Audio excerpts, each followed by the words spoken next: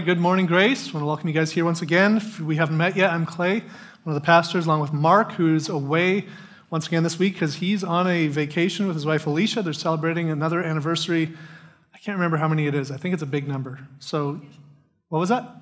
22, 22 yeah. I was going to say 20, but I knew that was wrong and I couldn't remember what it was. So, 22 years, which is awesome. So, I'm happy that they're able to go do that. And while Mark is gone, he's going to be able to still listen to this because we have it up on the website, like Jared said earlier. And uh, we're just really excited to be in this book of Colossians. Now, the reason we like the books of the Bible that we teach through is because we believe that the Bible is God's Word. We believe it's been given to us to better know and understand who God is and what He's done for us. It's not just a list of rules of what we must do to be made right with God, but it's the grand story of redemption that shows us what God has done so that we could be made right with Him. So, if you could bring out your Bible, whether that is in book or app form, and turn with me to the book of Colossians. We're going to be continuing on in chapter 2 this week. And like Jared did last week, opening up uh, the start of chapter 2, we're going to continue on in that. You can see it's going to be near the back of your Bible if you're using a paper Bible. Uh, you can use the table of contents if you're having a hard time finding it, or if you want to use the search function if you're using an app, that is entirely okay as well. And we're going to look at verses 8 through 15 today. So if you if you're turned there while you're doing that, I'm going to pray and we're going to set our hearts right to hear from God's word. Father, I thank you so much once again that you've given us your word, that we can behold the beauty and the mystery of how much you love us and how much you've done for us. Pray that as we've opened your word this morning, that you would speak to us through it that you would open deaf ears and blind eyes to see the truth and beauty of the gospel. Father, I pray that you'd speak through me, that my words would be understood as you want them to be, and that you would allow us to rejoice in you together. It's in Jesus' name I pray. Amen. All right, so we're going to listen to the scripture as it's read on the screen behind me, and then we're going to dig in once that's read. Reading from Colossians 2, verses 8 to 15. See to it that no one takes you captive by philosophy and empty deceit, according to human tradition, according to the elemental spirits of the world, and not according to Christ. For in him the whole fullness of deity dwells bodily, and you have been filled in him, who is the head of all rule and authority.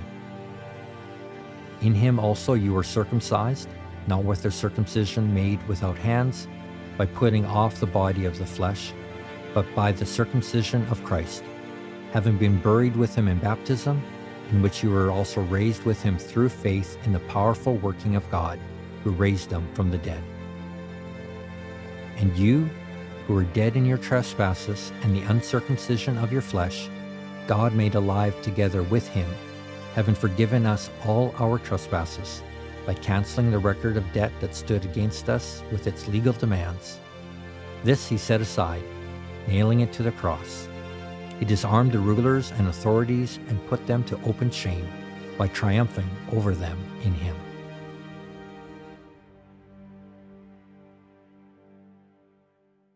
All right, so just as a recap, last week Jared did a great job of his first sermon after being brought up as a elder candidate or pastoral candidate. And he started off chapter 2 where Paul is writing this letter to the church in Colossae and reminding them and reminding us of his goal for the church to be united in the gospel. And Paul's call for unity was not a call that everyone look and act exactly the same, but rather to remember their identity in Jesus, to live and act in accordance with who they now are in Christ. Means to be so in tune with the Spirit and so rooted in the gospel that their preferences or their differences of opinion, they just fade away compared to their love for Jesus and love for one another. That's what true unity should look like. And so Paul says that one of the results of being unified in the gospel is that we'll actually be aware of plausible arguments that are trying to lead us away from Jesus. It's those false teachings that, un- unless you're firm in the truth of what Jesus has done for you, could very well lead us astray. That's why they're plausible. Now, there's something really interesting that I see when I look at this little letter that we have from Paul. And I love how it actually takes Paul until chapter 2 before he starts to give any kind of commands to this church. See all his teachings, all his admonishing, all his exhortation, All of it up to this point was just declaring who God is and what he's done. It's not just a list of do's that the church was supposed to do. And so, if you're reading through this letter, you see that the first command to come up, as Jared touched on last week, was this general call to continue to walk in Jesus the same way you received him. It's by faith, with Jesus as the root and the foundation of your life. But then in verse 8 here, he's going to start to get a little bit more specific. He says this See to it that no one takes you captive by philosophy and empty deceit, according to human tradition, according to the elemental spirits of the world, and not according to Christ. So he's giving a warning here. And if you remember back to a few weeks ago, we saw back in chapter 1, part of the proclamation of the gospel needs to involve warning. So he gives this warning to not be taken captive, to not be made prisoner, to not get tangled up. And if you read through slowly, you might just start to wonder well, what is something that could captivate me? What's something that could capture me? What's something that could steer me away from Jesus? Some of us might think, I'm fine, nothing's going to steer me away from Jesus. But the reason Paul gives warnings is because he knows us. And so for the, the Colossian church, it was this certain kind of philosophy, something plausible, something convincing that was tempting them to be taken captive. Now, I don't know what you think about when you think of the word philosophy. Maybe you picture a group of old men. They're sitting up in a university lecture hall debating and discussing ethereal topics and arguing about theories about how the world works. Or maybe you've done a bit of study and names like Kierkegaard, Jung, or Marx come to mind. Or perhaps you're just more familiar with some of the modern day pop philosophers like Joe Rogan, Whoopi Goldberg, or Jordan Peterson. But either way, the, there are philosophies in this world that risk capturing us. Now, philosophy is simply the study or the thinking through or the processing of how the world operates. It's looking at the nature of reality and existence. And this means, though, that in, reality, we're all philosophers. I mean, I, have said it before that we're all theologians, and when I say theology or, or th- being a theologian, theology simply means the study or understanding of God, which means that we all subscribe to some sort of understanding of God and reality, and then we live according to that understanding. So then the only question then arises is where are you getting your theology? Where are you getting your philosophy? You see, Paul isn't telling us to ignore philosophy. He's not telling you to stop thinking, to stop pondering the, the nature of reality and existence. In fact, I, th- I think it's really good for Christians to think deeply, to look at the way the world works and, and ask ourselves questions, to ponder and to wonder. God's created us to wonder. And I don't think it's even necessarily wrong to listen or read philosophy and look at the questions that other people are asking. It's good to know people. But as we read, as we listen, we need to be aware. See, Paul says, see to it. Some translations say, be careful or beware that no one takes you captive. Because of the plausible nature of a lot of these philosophies, Paul says some of us just might get suckered in. Now, the thing about a lot of different philosophies is that they're rooted in an element of truth. They come about by studying the world that we can see, and, then they try to extrapolate what might be the cause of what we see. And, and therefore, whatever kinds of conclusions we come to, it's going to lead to various outcomes. So there's spiritual philosophies out there that will look at the world and see that there's got to be more to this world than just what we can see. And so there's so many unexplained events that must mean that there's a spiritual realm of some sort. And so maybe these spiritual philosophies take some truths that we see in Scripture, but then they add a whole bunch of extra things. And then you you come to a philosophy that talks about worshiping angels or, or praying to dead saints.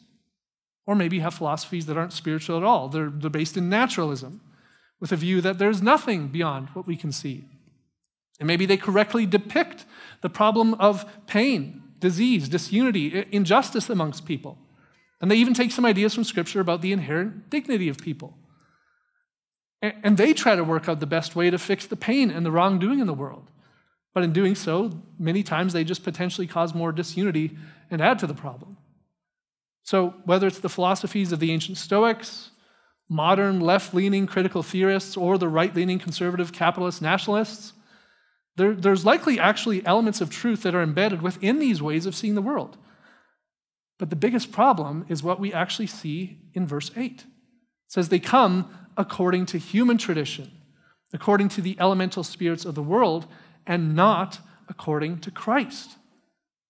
See, these other philosophies do not start and end with Jesus. These philosophies, they're void of seeing the world according to the truth of the one who made the world and everything in it, like we saw at the beginning of Colossians. So, with all that in mind, I just want you to take a step back for a second and think. What are the philosophies that are influencing me? What am I allowing to enter into my mind? Who's talking to me? Who's teaching me? What books, what podcasts, what TV shows, what YouTube channels do you spend time with? See, every single one of these things, as benign as we might think that they are, they're, they're espousing some kind of philosophy. Every single one of them comes with an assumption of the way the world works and how we are to live out of that assumption. See, we're, we're, we're being influenced by these philosophies, whether we know it or not. Now, it might not all look like a, a, Richard Dawkins lecture on the complexity of the universe, which somehow will reveal the lack of a creator and then that leads us to believe that life is short, has no real purpose other than just make the most of it while you can. It might not be as overt as listening to Jordan Peterson tell you how to follow his 12 rules for life so that you can experience a high degree of satisfaction in your accomplishments. It, it could actually just be as simple or as subtle as a home renovator telling you that they think the key to living a rewarding life is to organize your home better or get rid of clutter, or add more features or decorations to your house. Maybe it's a nature documentary talking about how our planet evolved over billions of years by random chance and circumstance. See, all of these come from a philosophy of some sort. And the world is filled with empty philosophies, to use Paul's words. Whether humanistic or even spiritual, and these philosophies just completely ignore the very foundation that Paul told us to dig our roots into, which is Jesus. And so Paul says, Do not be taken captive. Don't let them fool you. Do not let them sway you away from Jesus. Now, there's a, probably a very particular philosophy that Paul was really trying to allude to, as the word that he uses that's translated here in English to take captive, it actually seems to be a bit of a pun. And throughout this whole section, Paul's using a lot of wordplay. Since the Greek word that, that he uses to take captive, it's actually only a letter or two uh, away from the word synagogue. And so it's like he's saying that one of these empty philosophies is the idea that's coming out of the Jewish synagogues. Now, the synagogues were the places where religious Jews would gather to worship. And it was this idea that the only way to earn God's right standing was by works of the law. You got to obey the Old Testament scriptures, the Torah, as it would have been known. Now, if you had grown up in the Jewish Old Covenant system, that would likely feel very plausible. And in a very similar way, for many of us who grew up in a religious church setting, maybe you were taught the very same thing. I mean, how many of us were taught the Ten Commandments as young kids? And whether implicitly or explicitly, what we took away from this is that God loves and is pleased with those who keep his rules, and he's angry with those who don't. That's the kind of idea that many of us grew up thinking. But Paul says that this religious view of the world is also empty. Just like all the other philosophies that focus on humanity and what we must do to save the world or make the world a better place. See, whether it's Judaism, Catholicism, naturalism, environmentalism, capitalism, liberalism, conservatism, minimalism, maximalism, Marxism, or nationalism, any philosophy that focuses on us and what we have to do and sets aside Jesus and what he's done, it's just empty and it's deceitful. That's not a philosophy that holds true to what we see in the scriptures. And so Paul continues in verse 9 and 10 with the basis of the antidote to these empty philosophies. He says this For in him the whole fullness of deity dwells bodily, and you've been filled in him, who is the head of all rule and authority. So he says the answer to these empty philosophies is to focus on the truth that Jesus is God in the flesh. So again, he's using wordplay. Remember, he talked about the emptiness of these philosophies. So he's contrasting the emptiness of these philosophies with the fullness of Jesus who came in the flesh. I mean, it's amazing because Jesus entered into his own creation and lived amongst those who rejected him, and this was his fullness. And so Paul says that any philosophy that denies Jesus as the one true God is, is empty. It's useless. It's not going to lead to flourishing. It's not going to lead to life. He says it's just a dead end. But look at what we get in Jesus instead. For those who believe in Jesus and trust in him as the head and all rule and all authority, it says we get to be filled in him. So it means Jesus is better than any empty philosophy. So if you've been feeling empty, if you're getting burnt out, if you know there's something missing in your life, but your outlook on the world just tells you that you have to look inside yourself, or maybe you need to, to go find it in joining this, that, or some other cause, Paul tells us that we can stop looking we can stop trying to work to earn our place with God because He knows there's nothing else that actually has the power to ease our emptiness. But He says that Jesus is here and He's ready and He's willing to fill you. So then He continues in verse 11 In Him also you were circumcised with a circumcision made without hands. By putting off the body of the flesh by the circumcision of Christ, having been buried with him in baptism, in which you were also raised with him through the faith in the powerful working of God who raised him from the dead. So, again, trying to point out that these Colossian Christians, who are most likely Gentiles, which means non Jewish believers, he's reminding them that they didn't need to follow the Old Testament law. And he says that they don't need to be circumcised because if they've been saved by Jesus, they've already received a truer circumcision. Now, some of you who might be new to the Bible will look at this and just wonder, what does circumcision have to do with anything? And, and maybe if you're 20 or younger, you might not even know what circumcision is. But it all goes back to the very first book of the Bible, which is Genesis, where God makes a covenant with a man named Abraham, or who was known as Abram before that. Now, he gives Abraham this promise that God would be with him, and even though Abraham was an old man with a very old wife, and they hadn't had any kids yet, somehow God would bless Abraham with a family and descendants too numerous to count. And he gives him this promise with this covenant. And as a sign of this covenant, as a sign of believing this promise, Abraham was told to circumcise or to cut off the flesh of the foreskins or the outer skins of the most sensitive area of every male in the household and for generations. And so we might look at this and think, that's weird. And I don't blame you if you do. But what we do see here is that God likes to work through symbols. And God figures that it's going to help us to understand and remember things if we see things happen again and again and again through signs and patterns. And so God wanted Abraham and all his descendants to be able to look at themselves and remember they had been set apart. They had been cut off from living like the rest of the world and invited into something greater. See, their growth as a people, their reproduction, their continued ability to bring forth offspring was only there because of the promises of God. The sign of circumcision was not arbitrary. But even for us, when we see things at one level, God still oftentimes has a deeper meaning in mind as well. Because when we read through the prophets, we actually see that the circumcision of their foreskins, that was just to be a picture of the true and better circumcision to come of their hearts, their souls, their motivations. Even in the book of Deuteronomy, when Moses is delivering the old covenant law, God promises that even after they've sinned, there will be a day that they repent and turn back and ask forgiveness.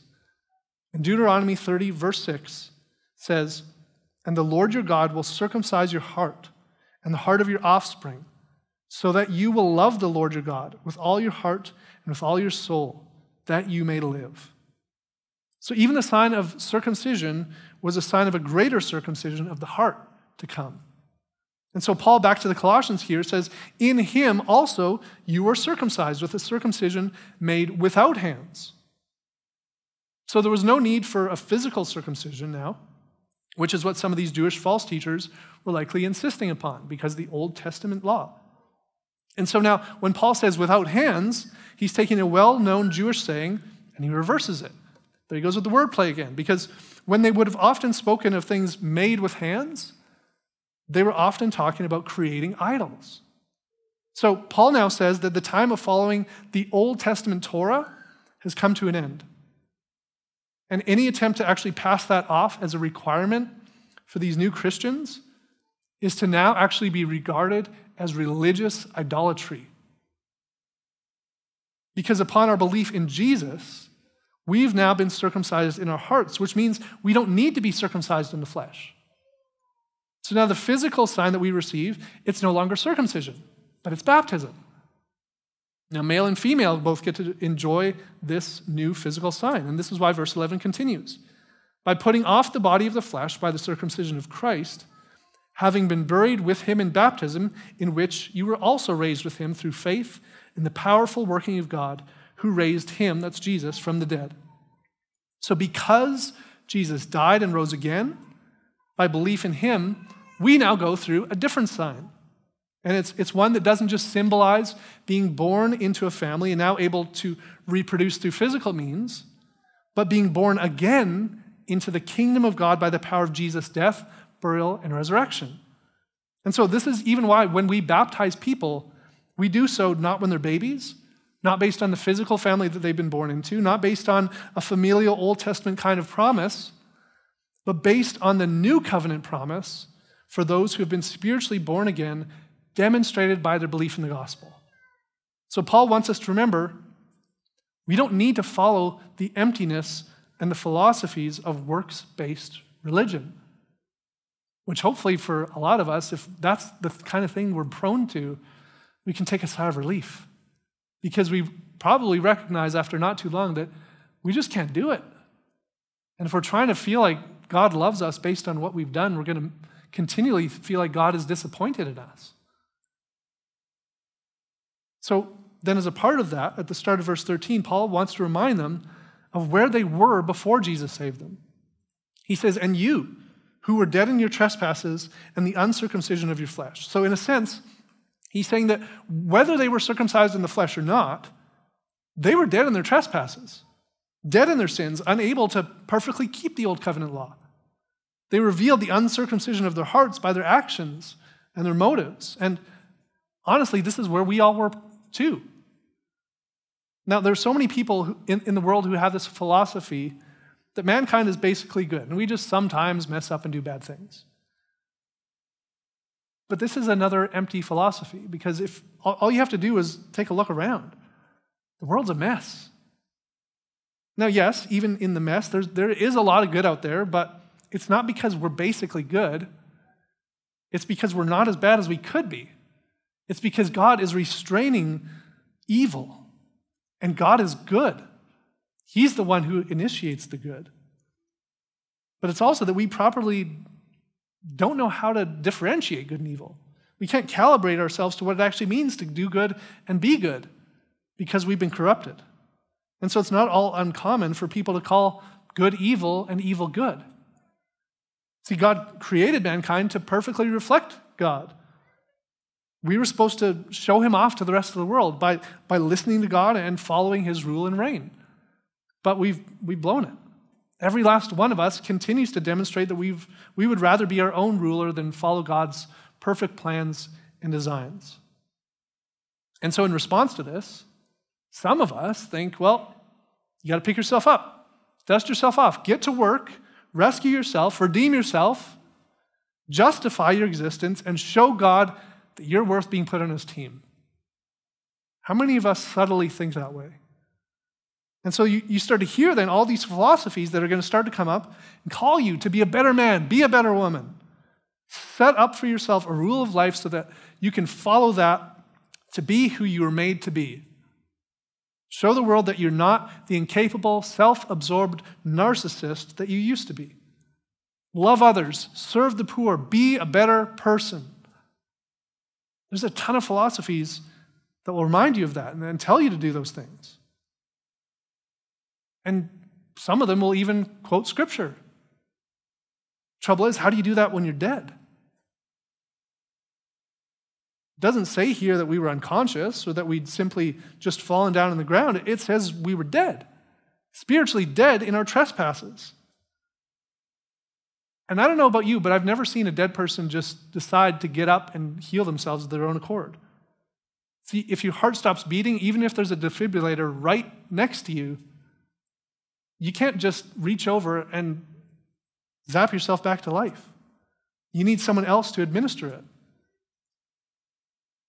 So then, verse 14 doubles down on this and tells us that we had a debt to our own account that we couldn't pay with all legal demands. So, Paul then uses this language to demonstrate because of our sin, we were lost and completely hopeless. But I'm excited that he uses the past tense. We were, because that was before Jesus saved us. But now look at what Paul says. Let's look at all of verses 13 and 14. And you who were dead in your trespasses and the uncircumcision of your flesh, God made alive together with him, having forgiven us all our trespasses, by canceling the record of debt that stood against us with its legal demands. This he set aside, nailing it to the cross. So we don't come alive by our own doing. We don't come alive by our religious duties or rituals. We come alive because God made us alive through Jesus. I'm not the one who made myself come back to life. I didn't save myself. Jesus saved me. He's forgiven our trespasses, forgiven our sins, forgiving us for choosing ourselves over God. And he says that he did it by canceling our record of debt. Now, Paul uses language once again, this legal language that pretty much anyone in the Roman Empire would have understood that in that day. Now, when someone went to prison, they would have had this sheet of offenses nailed above their cell listing all the reasons that they were being held and punished. And this would have been called the record of debt. Now, you, you may have heard someone use the, the phrase paying their debt to society in regards to someone finally finishing their, their prison term. And so we see here that our sin incurred a debt owed to God that we could never pay. It wasn't just a debt to society, it was a debt to God, the creator of the universe. And we couldn't pay it. But God wasn't just satisfied with sweeping our sin under the rug. He, he wouldn't just forget it as if it never happened because that would make God unjust. Because the wages of sin is death. So rather than make us justly pay for it, Jesus, being our substitute, he took that debt.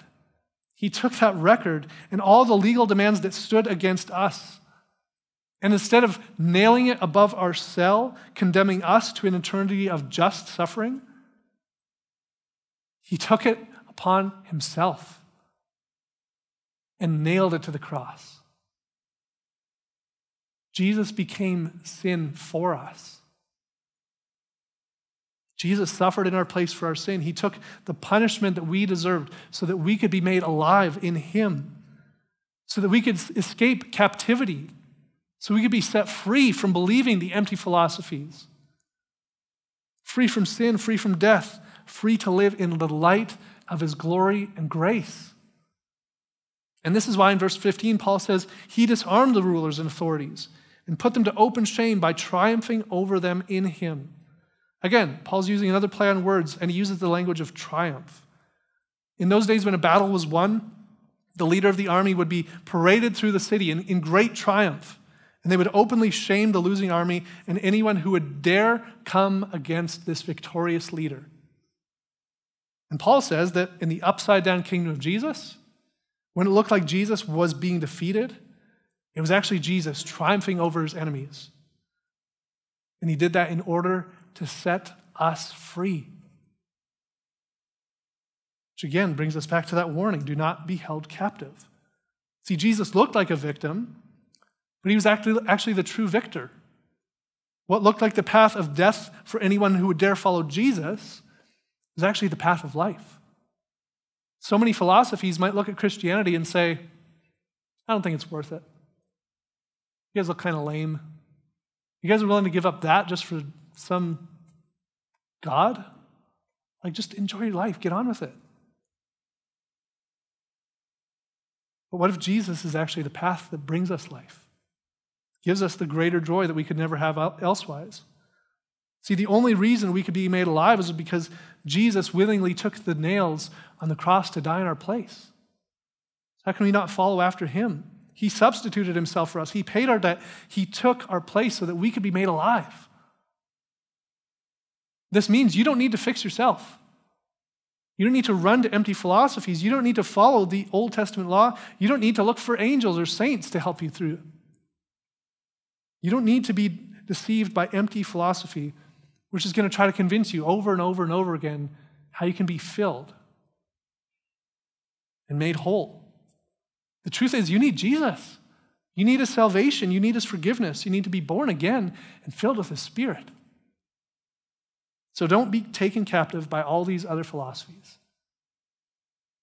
As a church, let's trust Jesus. Let's follow him and let's rejoice in him and what he's done for us.